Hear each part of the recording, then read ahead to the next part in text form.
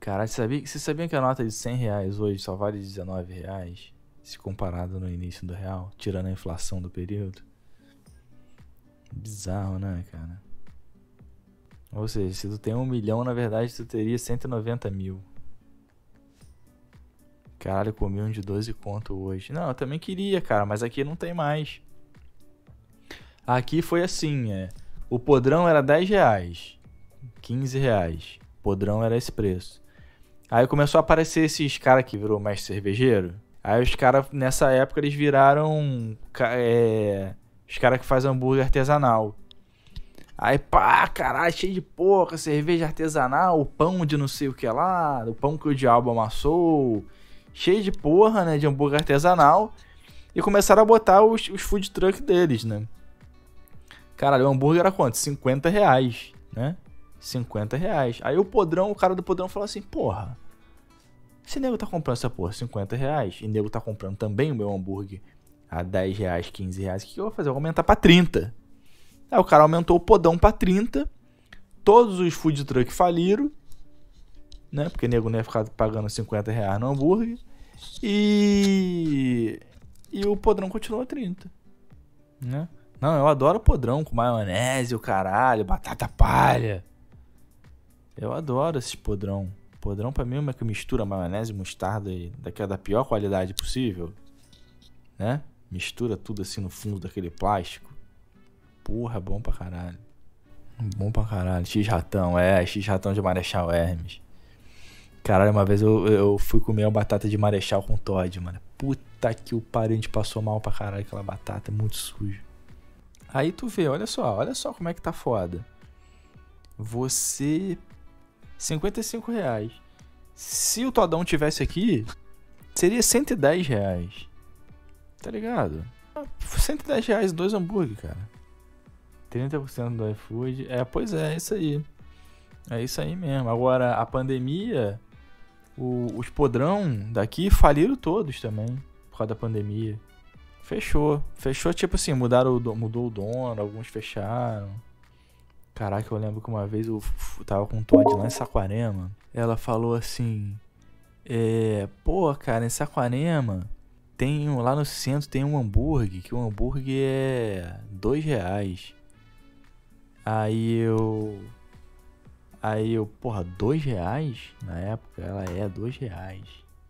Isso acho que em 2017. Falei, pô, não acredito, cara. Ela é, sempre tem lá. Caralho, eu fui comer um hambúrguer de dois reais. Caralho, o hambúrguer era muito podre, maluco. Mas era muito bom. Muito bom. Não, acho que na época foi cinco reais. Acho que tinha aumentado. Mas aí nesse mesmo lugar que vende. Que vende. Essa porra tem a casquinha que vende hambúrguer. Ah, não, a casquinha, dois reais. Caralho, mas é um sorvete muito gostoso. Dois reais, cara. Caralho, na última, na última vez que eu fui lá, falei, porra, cara, aumenta esse sorvete, pelo amor de Deus. Dois reais é sacanagem. Como é que tu vende essa porra por dois reais? Eu não gosto muito de comprar comida no iFood assim.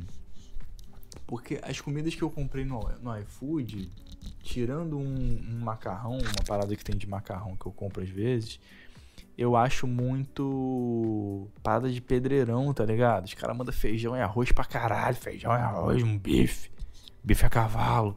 Caralho, mano. E eu queria, eu queria aproveitar mais umas. Eu queria comer umas comidas diferentes e tal. Eu sou um cara que sou entusiasta em comida, tá ligado?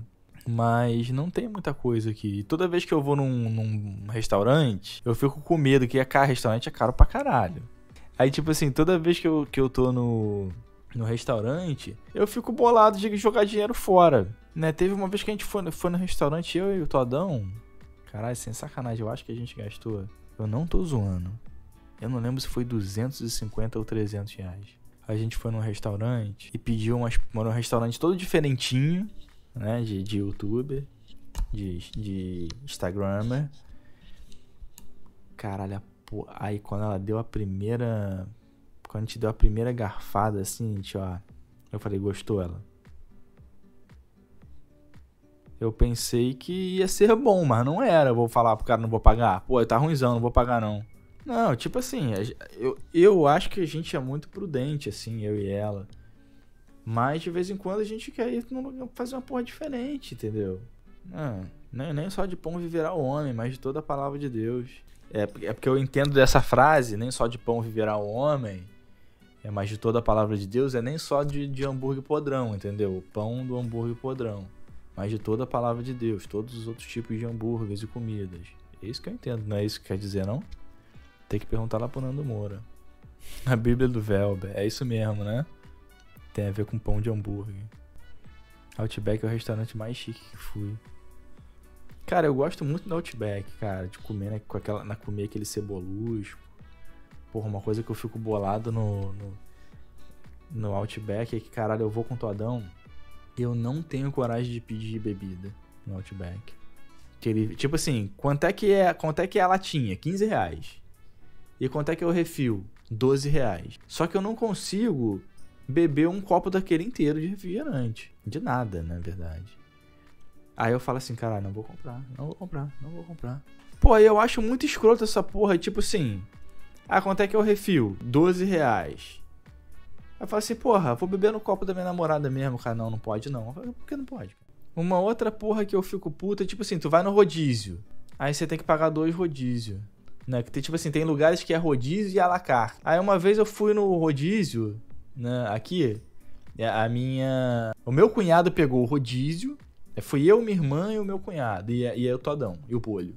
Aí o meu cunhado pegou o rodízio. Aí a gente não sabia. Aí de vez em quando. Aí vinha o negócio do meu cunhado, né? Vinha tantas paradas. Ele pegava lá. Aí tipo, ó, vou provar essa porra aqui. Pegar um pra provar. Aí depois, quando chegou a conta, o cara, não. Ó, nós vimos pela câmera que vocês estavam comendo o, o negócio dele também. Então todo mundo vai pagar o rodízio. Aí o cara, não, porque não pode. Eu falei, não pode é o caralho, cara. Bora botar essa porra certa aí, o caralho. A gente comprovou a porra aqui, não fode, cara. Aí ele foi lá e mudou mesmo.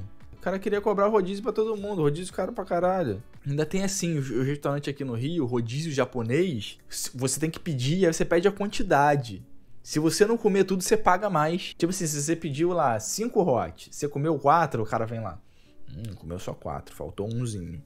Aí quer dizer, tu pede uma porra lá que é um golpe de karatê, eu falo, cara, não sei o que merda é essa aqui, cara. Pra, pra mim isso aqui é um golpe de karatê. Né? Aí você não come a porra porque é ruim pra caralho, tem que pagar mais. Não, eu entendo, eu entendo que, tipo assim, vai uma pessoa só, a pessoa pede o, o rodízio e todo mundo que tá em volta não pede nada e fica comendo o rodízio do cara, beleza, mas a gente pediu a nossa parada.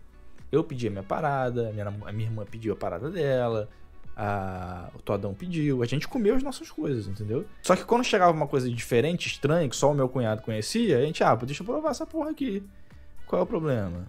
E outra porra que eu vou parar de pagar, 10% de garçom. Tipo assim, é porque geralmente o garçom atende bem, né? Mas é um roubo isso. É um roubo. Fala assim, então não precisa me servir não, cara. Eu vou lá no balcão lá e pego. Só chamar, não precisa me servir não. É, cara, é, é tanta malandragem. Pô, 10% a mais. 10%. 10% é muita coisa, cara. 10% num jantar de 400 reais. Junta uma galera. O cara bebe pra caralho, conversa pra caralho a noite inteira lá. A mesa dá 3 mil, 4 mil. O garçom pega 400 conto, cara. Aí tem briga, rola porrada. O cara fala que tava atendendo a mesa tal. A mesa tal é minha. O caralho, rola porrada do garçom. Os caras se esfaqueiam. O garçom tá levando mais do que o dono do, do, do lugar, se der mole. O estacionamento é caro pra caralho. Tu vai no shopping hoje em dia, aqui no Rio de Janeiro, você não paga menos de 20 reais de estacionamento. 20 reais de estacionamento, você vai gastar aí pelo menos uns. Se for comer no McDonald's, uns quase 100 reais. Você vai no cinema, mais, mais 50 e poucos reais. Né? Se for comer um MM no cinema, mais, mais 30 reais, essa porra. Você vai dar uma saída 250 reais. Mais a gasolina do carro, que é cara pra caralho, 6,50 graças ao Bolsomito. Por isso eu prefiro andar de moto. É, mas moto aqui no Rio de Janeiro é perigoso, cara. Eu não gosto de moto não, chove, tu ficando tu molha. Eu acho que a moto ela tinha que ser fechada, tipo um no Cyberpunk. É, no final das contas, 380 reais no Resident sai barato. É porque o nosso dinheiro tá muito desvalorizado mesmo, cara. Você, você conseguir sair para se divertir hoje em dia, cara, é uma foda, é pra poucos, cara. Porque se o cara ganha dois mil reais, vamos supor assim, o cara ganha dois mil reais, acredito que seja um salário médio. para você sair todo final de semana não dá. Você tem que sair um final de semana. Você tem que ganhar dois mil reais, sua mulher ganhar dois. Aí beleza. Dá para você sair um final de semana, tranquilo. Mas eu não sei se você consegue sustentar uma casa, não. Você ganhando dois mil e tua mulher ganhando dois mil. Dois mil o cara não sai, né? Não sai. Pra você ter uma ideia, eu ganhava dois mil. Eu ganhava dois mil e duzentos reais, na verdade. Em 2006, filho. Até hoje tem gente que ganha isso. É, cara, é foda, mano. É foda, é foda, é foda, é foda, é foda. Eu tava conversando com uma colega minha. Aí ela falou assim: Porra, a gente gasta aqui em casa em média 6 mil no mês. É, ela ganha 6 mil líquido, né? O salário acho que é 8 e pouco. E o cara por aí também. Acho que ganha mil reais a menos que ela. Né? Como é que você dá entrada numa casa? Como é que você paga escola de uma criança? Teve um maluco aí que falou assim, porra, o meu, meu, um amigo, o meu irmão era engenheiro, ganhava 3 mil. Veio a pandemia, ele foi mandado embora, meteu uma bike, tá ganhando 4 mil entregando iFood. Tá ganhando mais do que com engenheiro.